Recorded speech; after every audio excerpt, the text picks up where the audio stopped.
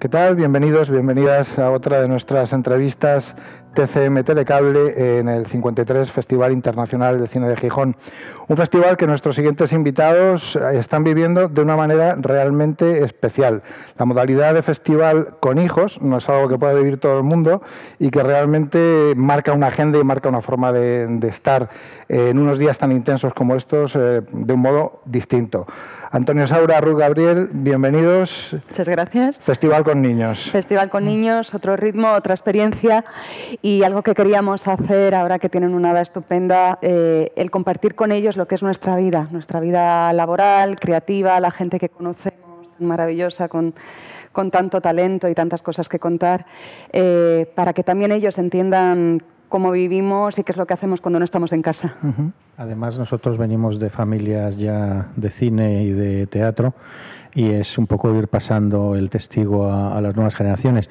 Yo les deseo por su bien que no se dediquen al cine, pero si al final este virus tremendo que, que, nos invade a los que lo hacemos, les invade a ellos, pues, pues mira, que lo disfruten y que sepan dónde se metan. ¿no? Además, en, perdona, en un festival en el que no se pueden quejar de no tener programación específica para ellos. Hombre, tienen al menos dos secciones de las que pueden. Claro, es un festival con unas secciones además muy variadas muchísimos gustos y aquí desde luego lo han, lo han podido ver. Otra cosa que me ha gustado mucho que vean es las colas interminables de gente de aquí de Gijón para, para acudir a ver las películas.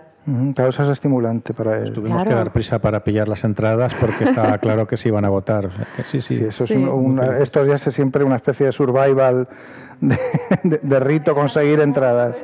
Claro que sí. Pero la gente peleándose por, por, la última entrada, por la última localidad para ver. Gratifica. Pues mira, mm, precisamente de, esto me gustaría que me, que me comentarais algo los dos. Pensaba haceros una pregunta común eh, desde distintos frentes, eh, como actriz y productora también ahora, como productor y como hombre de cine y de familia de cine.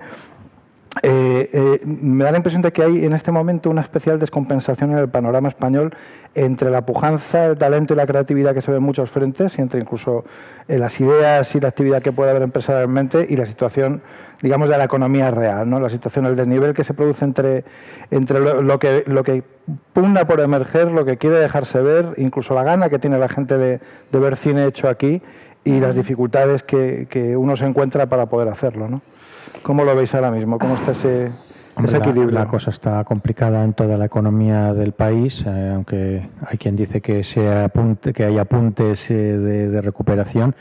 Nosotros en nuestro sector lo que vemos es que llevamos unos años complicados.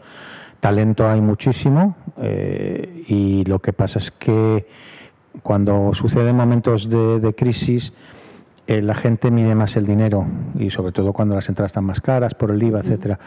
Y, al medir más el dinero concentran más eh, lo que van a ver en menos películas, lo cual cuando la gente tiene más dinero explora y eso permite que películas distintas o un poco más arriesgadas tengan una cabida más fácil, mientras que ahora al concentrarse solo en unas pocas, el poco dinero que se puede gastar hace que todas las demás sufran más todavía. Entonces es una extraña paradoja en donde se producen fenómenos de concentración de, consumo y desaparición, digamos, de lo que se llamaba la clase media en el cine y en todo, pero vamos, en el cine se nota mucho. Bueno, y en lo cultural en general, porque no se toma como una prioridad.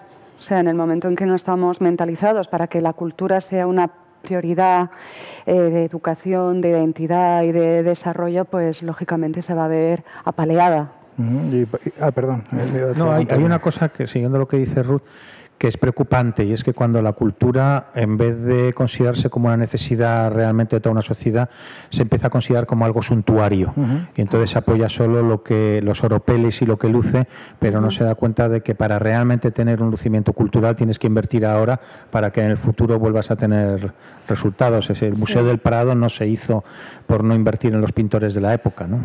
Es un recorrido muy complejo y se tiene que apoyar en todas sus fases. Uno de los francos más dedicados y más castigados es precisamente el, tuyo, el de los actores. Bueno, sí, es un porcentaje muy alto el de compañeros que no pueden vivir de la profesión, que tienen que apoyarse en otros trabajos. Yo, de hecho, también una de las razones por las que he querido entrar en el mundo de la producción, aparte de porque siempre me ha fascinado y porque dedicándome a esta profesión desde tan pequeña siempre he querido bichear por todas partes, porque he querido tener un poco la sensación de poder ver las cosas desde cero, el ver el nacimiento y ver si tomar un poco la iniciativa, no estar esperando, como digo yo, a, que en el guateque me saquen a bailar. estar en todo el proceso, sí. Claro, estar en el proceso y, poder tomar algo de decisión de mm, vamos a arriesgar por aquí, vamos a arriesgar por allá, porque si no, hasta que no nos ponen en el proyecto, no hay nada que arriesgar, no, no podemos arrancar con nada. En Latido estáis trabajando, hablaremos un poco de eso.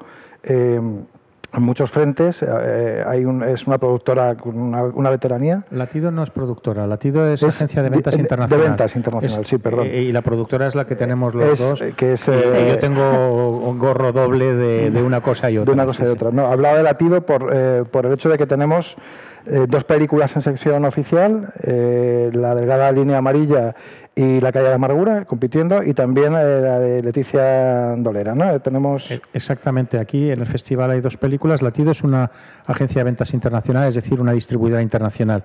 Lo que hacemos es vender las películas fuera de sus territorios. Es decir, las películas mexicanas, como estas dos que citas, también las vendemos en España y las películas españolas las vendemos fuera de España. ¿no? Y aquí tenemos una representación magnífica de un cine latinoamericano, incluyendo a España en esa categoría que yo creo que tiene que estar con, con, insistencia, aunque a veces las instituciones se olvidan de que somos también latinoamericanos y, europeos, las dos cosas.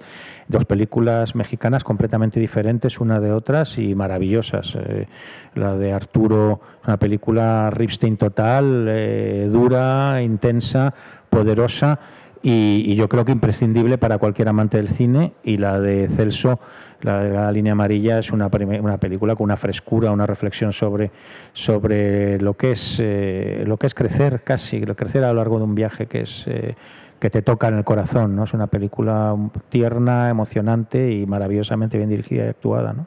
Bueno, y cambiamos de gorro, vamos a la productora. ¿En qué andáis y, y cómo ¿Y cómo andáis? Porque tenéis, eh, tenéis recientemente el proyecto de, Sherry. De sí, Jerez y el Ministerio del Palo Cortado. que me han eh, dicho, por cierto, que es una delicia, aquellos que lo han visto, y mucho más si la ves en Málaga y tomando después. pues se ha visto ya, ha viajado. también tomando. También, ¿no? Ha viajado mucho y muy bien y con muchísimo éxito. Es un tema que además es muy fascinante porque, aunque es un tema difícil de, reproducir porque tiene que ver con el olor y con el gusto. Las imágenes están muy logradas. el director es José Luis López Linares y tiene, por supuesto, una fotografía increíble, una música fascinante. Es un tema que sorprendentemente eh, fuera de España es muy requerido, o sea, el, tema de todo el, jerez y, los vinos, pero fundamentalmente el jerez, eh, tiene un respeto y, una importancia brutal. Nos lo estamos pasando muy bien. Yo como gaditana que soy, para mí era una manera muy hermosa de empezar en esto de la producción. Y, nada, lo estamos disfrutando mucho el, recorrido que está teniendo. Lleva más de 20 festivales, ha vendido ya bastantes territorios.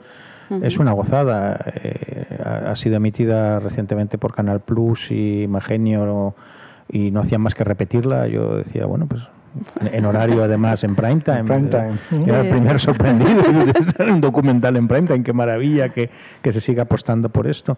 Muy bien. Y ahora como largometraje para el año que viene estamos preparando con otros productores una, una película de un director argentino, la segunda de Pablo Solanz, que es un guionista extraordinario y, es una coproducción con Argentina, Polonia y España de la historia de un, de un anciano que, que vuelve a Europa a ajustar cuentas y es una maravilla, un anciano judío.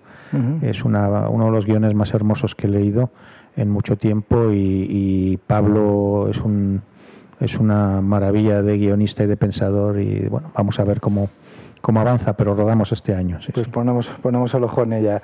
Eh, Ruth, eh, volvemos a cambiar de gorro, te quitamos el Vamos a terminar bipolares totalmente. Te, completamente. te ponemos el, de, actriz. Creo que hay un estreno más o menos al caer, de una película portuguesa, eh, sí. Hielo. Eh, Hielo, de, sí. Estamos ahí esperando Hielo de Luis Galbao, Luis y, y Gonzalo Galbao han dirigido padre e hijo conjuntamente por primera vez. Están muy contentos además con haberlo, con haberlo hecho. Eh, una película muy mágica, muy hermosa, muy poética. A mí desde luego me, impresionó, fue por ello por lo que accedí a hacer esta, esta participación, porque me parecía un mundo extraño, onírico, atrevido, muy atrevido y a mí cada vez me están gustando más los proyectos. La osadía, ¿no? La osadía, la valentía. O sea, tenemos eh, el cine que nos puede presentar tantísimas posibilidades para expresar tantísimas cosas, pues como vehículo saquémosle el mayor partido posible y, por eso estoy muy orgullosa de formar parte de, de este equipo. De este proyecto. ¿Y en, cartera, eh, en agenda, por Fundamental ahora, Fundamentalmente estoy ahora con teatro. O sea, eh, lo último que he estado haciendo y que además me está ayudando a coger mm, fuerza y, el trabajar de una manera más mm, minuciosa es el teatro. Estoy ahora mismo eh, con una compañía eh, madrileña que se llama 300 Pistolas, que fundamentalmente trabaja lo que es campaña escolar. Esto quiere decir no solamente hacemos las funciones para los chicos de institutos, sino que luego vamos a los institutos, hablamos con ellos, preparamos eh, si tienen un departamento de teatro y es una manera para mí eh, que es la única de, de enseñarles el teatro a los chicos. Yo recuerdo cuando estudiaba teatro en el colegio que era muy aburrido, porque el teatro no está escrito para que se lea, está escrito para que se vea y se represente. Entonces les cambia mucho ahora de pronto ver la casa de Bernarda Alba después de haberlo estudiado en el colegio, ahora lo ven y dicen, ah, claro, ahora entiendo todo. Claro, claro. con carne y Con carne, con movimiento, con respiración, ahí es cuando tú recibes de verdad lo me que... Me imagino exacto que para, para vosotros los actores también es una retroalimentación completamente alucinante. Porque son unos chavales que están muy a flor de piel. Claro.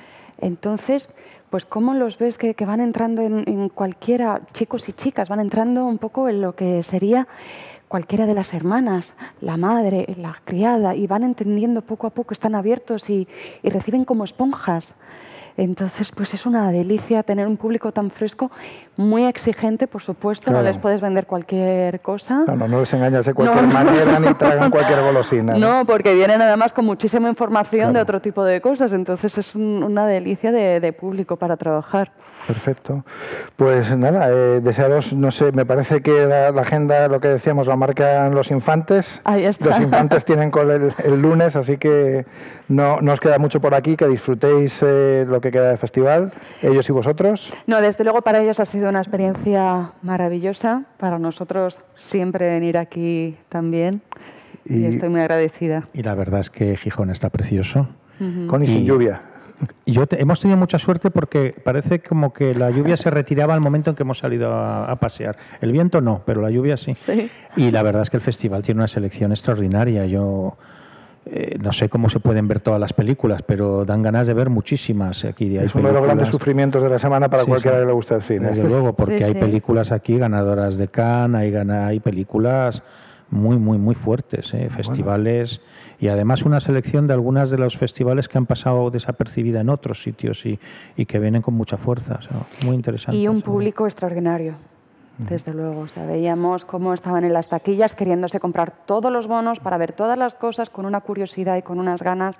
Así es. Es una maravilla, de verdad que sí. Pues muchas gracias. Pues nada, gracias a vosotros y muchísimas colas en teatros, en cines, en cualquier sitio donde con cualquier gorro que os pongáis vaya saliendo vuestro trabajo. Y, y nada, y ustedes hasta la siguiente entrevista TCM Telecable, no tardará.